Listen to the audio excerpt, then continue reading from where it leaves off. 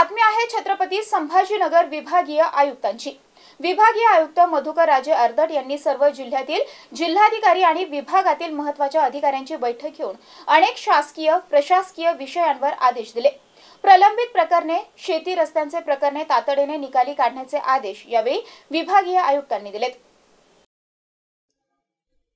विभागाला मिळालेले नवनियुक्त विभागीय आयुक्त मधुकर राजे आर्दड यांनी विभागात येणाऱ्या सर्व जिल्ह्यातील जिल्हाधिकारी आणि विभागातील महत्त्वाच्या अधिकारी वर्गाची बैठक घेऊन अनेक प्रलंबित तसेच न्यायालयाच्या निकालावर आणि आदेशावर मार्गदर्शन करत प्रशासनाला आदेश दिले. यासह अनेक प्रलंबित विषय आपल्या पातळीवर सोडावा कामे खोळंबली असतील तर तातडीने मार्गी लावा. महसुलातील जमिनी संबंधी तसेच फेरफार सातबारा नमुना या संबंधीची प्रकरणे निकाली काढा. सध्या पावसाळ्यातील खरीप हंगामातील शेतीची कामे चालू आहेत. मात्र काही ठिकाणी शेतकऱ्यांना शेतीमध्ये येण्यासाठी तसेच जाण्यासाठी रस्ता नाहीये. अनेक प्रकरणात शेतीला रस्ता अडवल्याची तक्रार येते. अशा परिस्थितीत शेतकरी बांधवांना किमान त्याचा माल आणि शेतीसाठी लागणाऱ्या साहित्याची ने आण करण्यासाठी रस्ता तातडीने उपलब्ध करून द्या. शेती रस्त्याच्या प्रकरणात दिरंगाई करू नका असे आदेश दिले. यासह विभागाच्या बाबतीत महत्त्वाचे म्हणजेच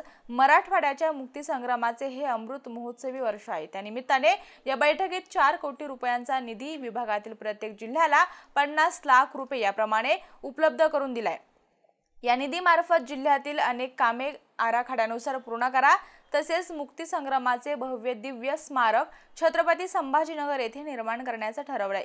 स्मारकाकरिता सत्तर कोटी रुपयांच्या निधीची मागणी होतीये. मात्र आता ही तरतूद शंभर कोटी रुपयेपर्यंत वाढली आहे यासंबंधी प्रस्ताव लवकरच राज्य शासनाकडे पाठवण्यात येत आहे अशी माहिती यावेळी बैठकात देण्यात आली आहे Anwar Almanoor Jafar M C news Chhatrapati Sambhajinagar.